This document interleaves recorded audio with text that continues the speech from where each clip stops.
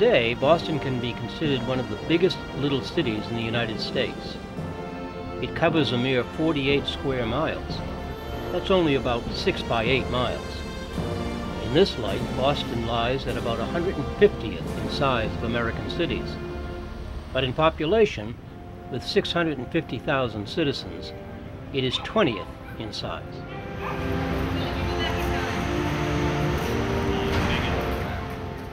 You're looking at the old State House, still adorned with the British lion. But where the Boston Massacre occurred on March 5, 1770, and from whose balcony the Declaration of Independence was read on July 18, 1776. Faneuil Hall lies at the center of Boston's old market district, and today is a popular tourist spot.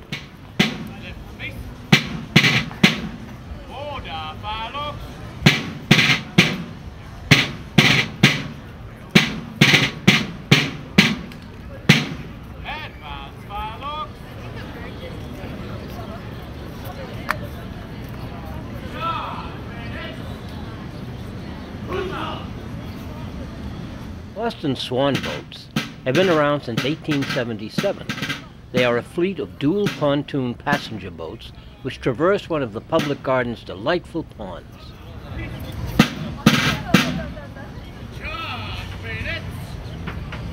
But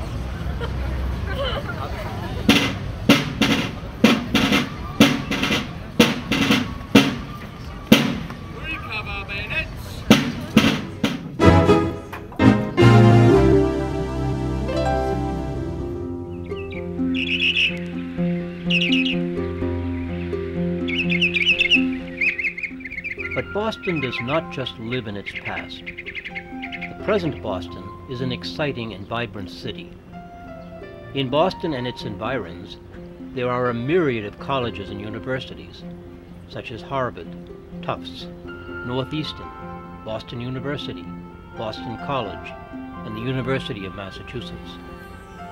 It is a center for medicine and research with the Massachusetts General Hospital, Beth Israel Deaconess Medical Center, Brigham and Women's Hospital, Massachusetts Eye and Ear, and Lahey Clinic. Boston is also a center for the arts. It boasts places such as the Museum of Fine Arts, the Museum of Science, the Kennedy Library, the Boston Symphony, the Boston Pops Orchestra, and the Handel and Haydn Society. Even the premier TV station of PBS is located in Boston. WGBH produces more programming for public broadcasting than any other PBS affiliate.